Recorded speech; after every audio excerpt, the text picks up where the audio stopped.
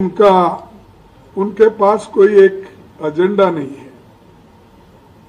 और हमेशा बीजेपी और आरएसएस ये कहते रहते हैं कि हमारे लीडरों का जबान काटने की बात करते हैं। उनके जो एमएलए है एमपीज है वो कहते हैं, अगर कोई सच बात बोले तो हम राहुल जी का जबान काट देंगे।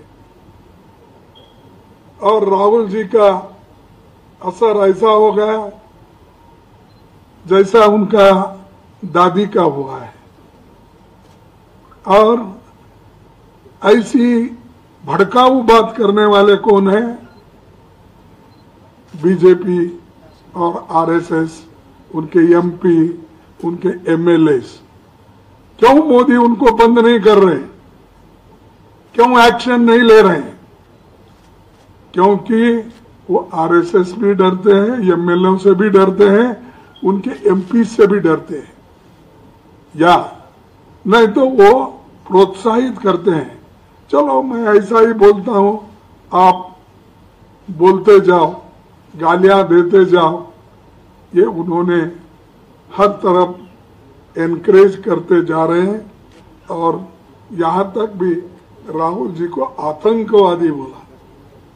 यानी राहुल की जबान काटने की बात, राहुल जी को आतंकवादी बोलने की बात और राहुल जी को देशद्रोही बोलने की बात, ये सब कौन कर रहे हैं? बीजेपी। भड़काने की बात करते तो अगर कोई डराने की बात करता है, कांग्रेस पार्टी डरेगी नहीं, और ऐसे जो डराने की बात करने वाले हैं, ये तो आज़ादी के वक्त भी डर के घर में बैठे थे। देश के लिए लड़े हमारे लोग, कांग्रेस के लोग, मरे कांग्रेस के लोग, और गांधी फैमिली में इतने लोग अपनी कुर्बानी दिए। आपके पास कोई है ऐसा देश के लिए? एक कुर्बान देकर बहुत बहादुरी देश के लिए दिखाया यहाँ महात्मा गांधी जी राष्ट्रपिता, उन्होंने जान दी देश के एकता के लिए, देश के अखंडता के लिए, देश के भलाई के लिए। इंदिरा गांधी जी ने अपनी जान दी। देश में एक ही रहना ये उनका ये था। फिर उसके बाद राजीव गांधी जी ने अपनी जान दी। अरे इतने लोग कुर्बान करने वाले कांग्रेस में हैं। अभी भी फिर उनके खानदान को बार बार ये कहते हैं, इसकी जीव काटो, ये टेररिस्ट है, फलाना है।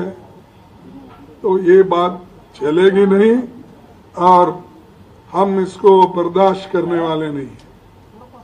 हम हर जगह इसके खिलाफ एजिटेशन करेंगे, लोगों को बताएँगे कितनी गंदी दिमाग इनकी है, कितना ये इनके पास कैसा एक एक दुश्मनी की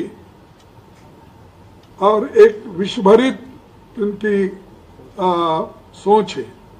तो इसलिए भाइयों इन लोगों को तो हटाना ज़रूरी है और हमारे जम्मू कश्मीर को भी बचाना ये हमारे लिए सबसे बड़ा है।